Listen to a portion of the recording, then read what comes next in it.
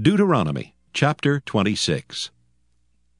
And it shall be when thou art come in unto the land which the Lord thy God giveth thee for an inheritance, and possessest it, and dwellest therein, that thou shalt take of the first of all the fruit of the earth, which thou shalt bring of thy land that the Lord thy God giveth thee, and shalt put it in a basket, and shalt go unto the place which the Lord thy God shall choose to place his name there. And thou shalt go unto the priest that shall be in those days, and say unto him, I profess this day unto the Lord thy God, that I am come unto the country which the Lord sware unto our fathers for to give us. And the priest shall take the basket out of thine hand, and set it down before the altar of the Lord thy God.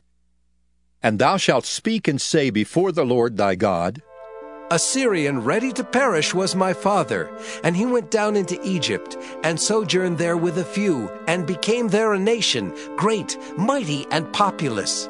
And the Egyptians evil entreated us, and afflicted us, and laid upon us hard bondage. And when we cried unto the Lord God of our fathers, the Lord heard our voice, and looked on our affliction, and our labor, and our oppression. And the Lord brought us forth out of Egypt with a mighty hand, and with an outstretched arm, and with great terribleness, and with signs, and with wonders.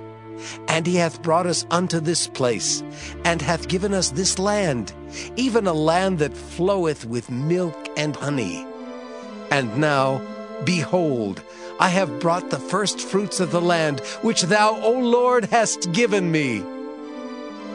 And thou shalt set it before the Lord thy God, and worship before the Lord thy God. And thou shalt rejoice in every good thing which the Lord thy God hath given unto thee, and unto thine house, thou and the Levite, and the stranger that is among you.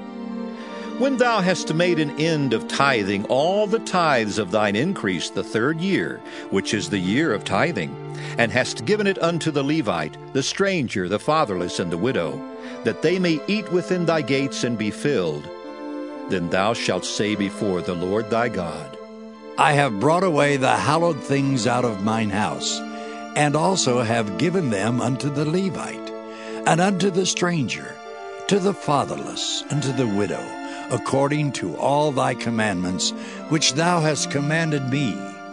I have not transgressed thy commandments, neither have I forgotten them. I have not eaten thereof in my mourning, neither have I taken away aught thereof for any unclean use, nor given aught thereof for the dead. But I have hearkened to the voice of the Lord my God, and have done according to all that thou hast commanded me. Look down from thy holy habitation, from heaven, and bless thy people Israel, and the land which thou hast given us, as thou swarest unto our fathers, a land that floweth with milk and honey.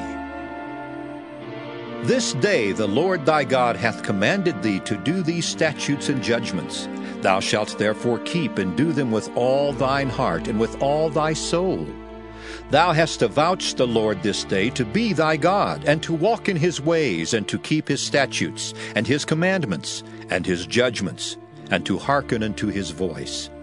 And the Lord hath avouched thee this day to be his peculiar people, as he hath promised thee, and that thou shouldest keep all his commandments, and to make thee high above all nations which he hath made, in praise and in name and in honor. And that thou mayest be an holy people unto the Lord thy God, as he hath spoken.